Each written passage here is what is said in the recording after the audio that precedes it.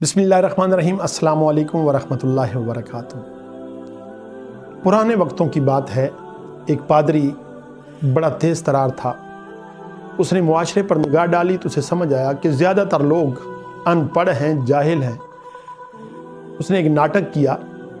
उसने ऐलान कर दिया कि मैं जन्नत बेचता हूँ, जिसने ख़रीदनी है, आके मुझसे ख़रीद ले। कुछ लोग उसके पास आए उन्होंने कहा कि हमने जन्नत ख़रीदनी है। उसने कहा, कितनी ख़रीदनी है? दस गज़, बीस गज़, सत्तर गज़ या तहद निगाह, कितनी ख़रीदनी है? हर कोई अपने तई जो डिमांड देता, उसके मुताबिक वो उसकी कीमत लगा देता, चिट बना देता और नीचे अपने साइन और सिग्नेचर कर देता। वो लेके खुश खुश चले जाते कि हमें अब जन्नत मिल गई। पादरी मुआशरे का एक ऐसा फ़र्द जिसकी बात को अथेंटिक समझा जाता था, यकीनी समझा जाता देखा देखी जहलीत में लोग आना शुरू हो गए, पूरा शहर उमड़ आया। पादरी के बारे नारे हो गए। उसने जितना कुछ लोगों के पास माल था, वो खींचना शुरू कर दिया और अपनी दौलत बढ़ानी शुरू कर दी। उसी शहर में एक आलम रहता था। इल्म वाला शख्स था। अक्लमंद था। उसने जब ये सारा मंजर देखा तो उसने लोगों को समझाया कि पादरी तुम्हारे साथ धोखा कर रहा है। कभी इस तरह भी जन्नत बिकती है? जन्नत हासिल करने के और तरीके अल्लाह और अल्लाह के रसूलों ने दिए हैं।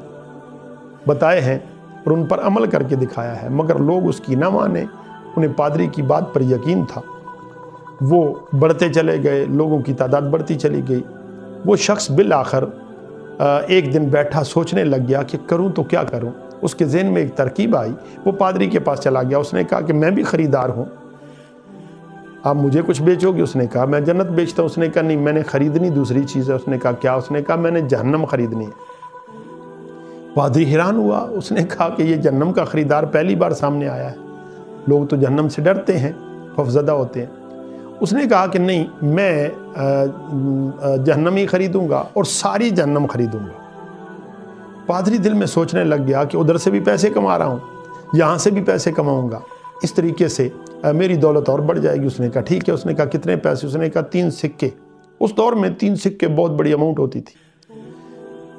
उस शख्स ने, अक्लमंद शख्स ने तीन सिक्के अदा किए और पादरी को कहा कि, मुझे अब लिख के दो कि तुमने जहन्नम मुझे बेच दी।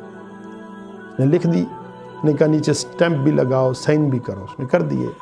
अब वो चिट लेकर, वो रसीद लेकर सीधा शहर के बड़े चौक में चला गया। वहाँ जाके उसने ऐलान कराया करवाया कि आओ मेरे पास मेरे पास तुम सब के लिए एक बहुत बड़ी खुशखबरी है। जब लोग इकट्ठे हो गए तो वो ऊँची जगह पर खड़ा होकर उनसे कहता है कि आप सबको मुबारक हो, आपकी जान छूट गई, परेशानी ख़त्म हो गई। ने कहा, हुआ क्या उसने? कहा, मैंने जहन्नम ख़रीद ली है और सारी जहन्नम ख़रीद ली है। अब मैं जहन्नम में किसी को दाखिल नहीं होने दूँगा। अब आपको जन्नत ख़रीदने की ज़रूरत नहीं, चूँकि जहन्नम मैंने ख़रीद ली मरने के बाद जहन्नम में मैं किसी को दाखिल होने नहीं दूँगा। पादरी ने ये देखो मुझे साइन करके दिए हैं। पादरी बहुत बड़ा आ, आलम है और वो दे सकता है जन्नत भी और जहन्नम भी इसलिए मैंने ख़रीद ली। अब चूँकि जन्नत बाकी बच गई है तो इसलिए तुम सब जन्नत में जाओगे। अब ख़रीदने की ज़रूरत नहीं है। यूँ ही लोगों ने ये सुना उनके जहन में बात आ गई। अब लोग पादरी के पास जाना छोड़ गए। पादरी को अपना कारोबार मंदा होता हुआ नज़र आया। तो उसने जब पता किया तो पता लगा कि ये वही शख्स था जिसने जहन्नम खरीदी थी। उसने उसके कारोबार का बेड़ा गर्क कर दिया। दोस्तों, जानते हो वो अक्लमंद शख्स कौन था? वो अपने ज़माने का अजीम फ़लसफ़ी और दानश्वर सुकरात था। आज भी उसके इल्म की और उसके फ़लसफ़े की लोग मिसालें देते हैं।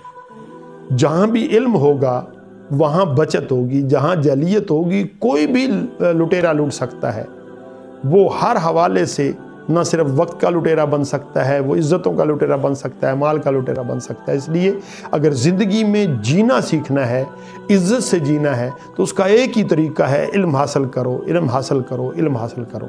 तभी आका करीम सल्लल्लाहु अलैहि वसल्लम ने फरमाया, इल्म हासिल करो, माद से लाद तक यानी पंगूड़े से लेकर कब्र तक इलम हासिल करो। हर रोज़ कुछ ना कुछ सीखने की कोशिश करो।